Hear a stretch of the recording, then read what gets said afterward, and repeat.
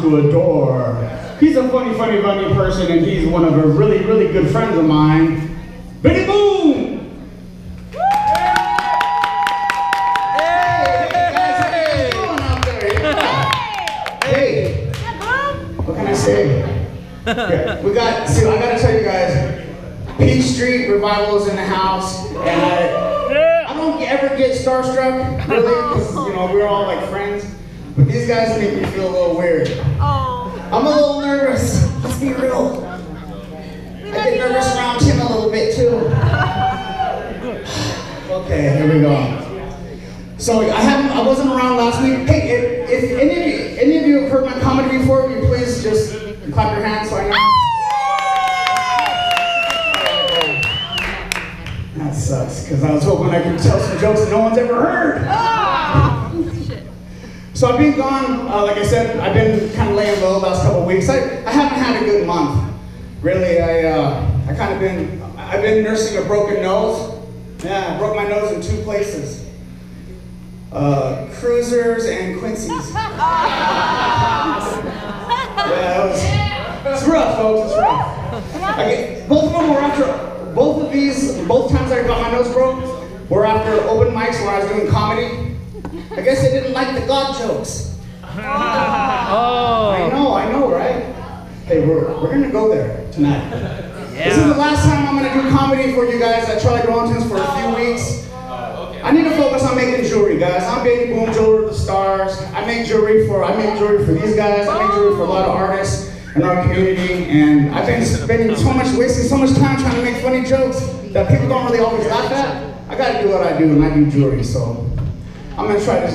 This is I'm gonna take a little break, a hiatus, if you will, and focus on jewelry.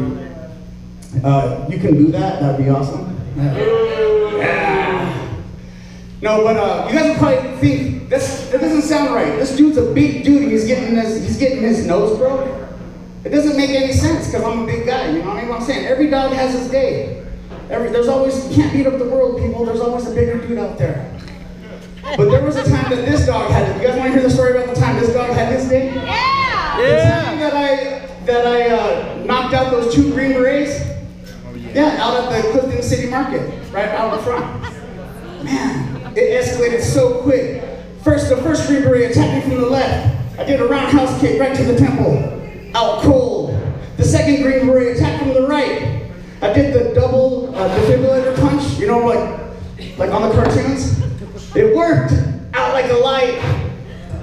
All because I didn't want to buy their damn cookies. Or hear their stupid stories, or donate to their stupid camping trip. I just needed to pick up some milk. I'm telling you, man. My sister, she used to sell uh, those cookies. She'd keep them in a big box. And me and my little brother would sneak in her box and eat. Wait, that, that didn't sound good. Let's move, move on to the next joke, folks. My little brother, though, I have four brothers. And my favorite little brother is my closest brother, my brother Pablo. We're always so competitive, man. We're always competing over everything. You know, it was like, but I always kind of had the advantage, you know? It was like, who can run the fastest? I win, Pablo. Who can uh, pee their whole name on the driveway? I win, Pablo. Who can hit who in the back with the wrench, the giant wrench the hardest? I win, Pablo. Who could poop their singlet on the first day of wrestling practice? He, he won that one. but we're always so competitive. We love basketball. We had the ghetto basketball hoop in the back, you know, the milk crate with the bottom broke out, nailed to the back of the garage. Oh man, we had some battles back there, man. I remember this one time I came back from college. I was probably like freshman year in college. I came back for like one of the breaks, fall break, I think, and we were back there having a battle, man. At the very last seconds, I did a super slam dunk right on his head. Boom! I broke the box right on his head, split his head open. I'm like, I was so in the moment, I was like, I win, Pablo! He's holding his head. "Oh, it's not fair! You're so much taller! I said, stop being such a puss. You're gonna be in fifth grade next year. Be stronger than your excuses. What I don't understand is you went to college? Well, only my freshman freshman year.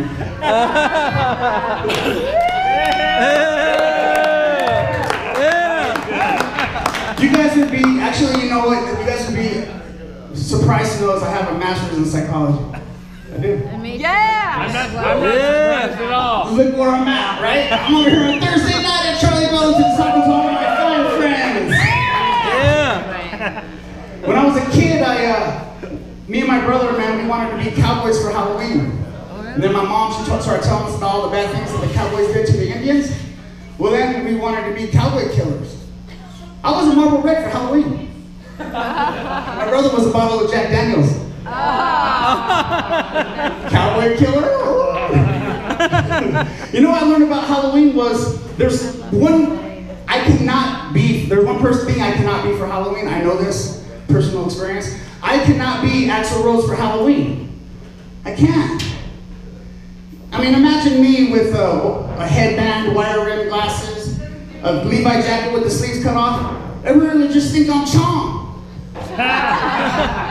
or uh, Pablo Escobar at a 70s party. no, seriously, look. Hey, buddy. Pablo Escobar kind of?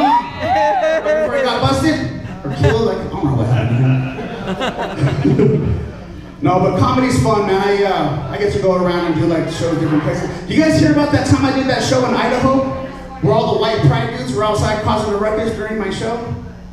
Yeah, after the show, I was leaving and all the white pride dudes were out there, and the leader walked up to me and he says, uh, he goes,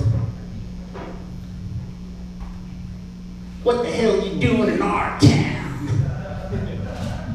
You don't need white, white people." And I said, "Well, I like white girls. They're people." That was funny. I thought he wanted to fight me. I, I, really. I guess he didn't hear about the things I did to those green berets. All right, I'm Benny Boom. I'm out of here.